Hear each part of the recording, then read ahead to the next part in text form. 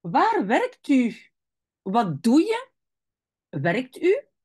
Vertel ons een beetje over uw job. Dag iedereen, mijn naam is M en ik werk sinds drie jaar op het gemeentehuis van X. Dit is mijn eerste job. Ik werk voor de bevolkingsdienst. In het team zijn we met 22 agenten. 10 agenten voor de Europeanen, 10 agenten voor de buitenlanders en 2 verantwoordelijken. Wat zijn uw taken? Wat is uw huidige functie? Ik werk als administratief medewerker en ik hou van mijn job. Mijn belangrijkste taken zijn de volgende. Mijn job houdt het volgende in: mails sturen, lezen, beantwoorden en klasseren. Ik beantwoord de telefoon van mensen die informatie willen of afspraken.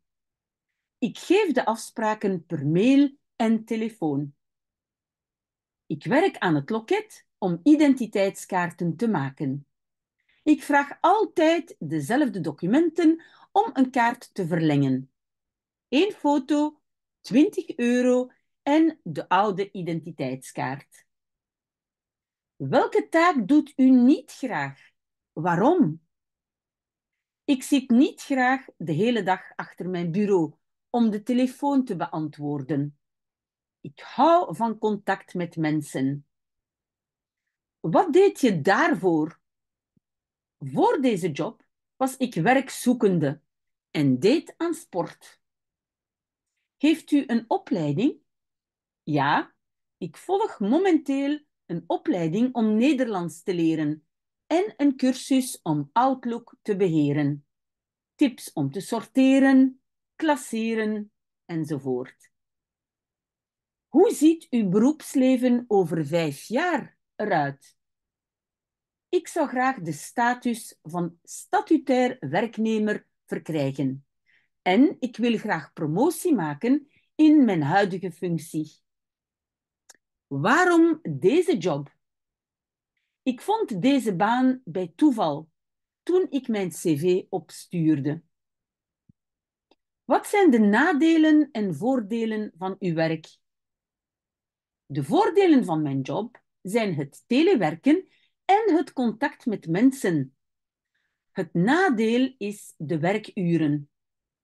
Elke dag begin ik om 8 uur en elke donderdag eindig ik om 7 uur. Wat doet u tijdens het telewerk? Ik werk twee dagen per week en ik doe dezelfde taken als op kantoor. Heeft u contact met Nederlandstaligen? Soms aan het loket met de mensen en ja, met mijn collega's. Ze helpen me veel om bij te leren. Waarom de CELOR-test? Het geeft me de gelegenheid de taalpremie te verkrijgen en in mijn professionele carrière te evolueren.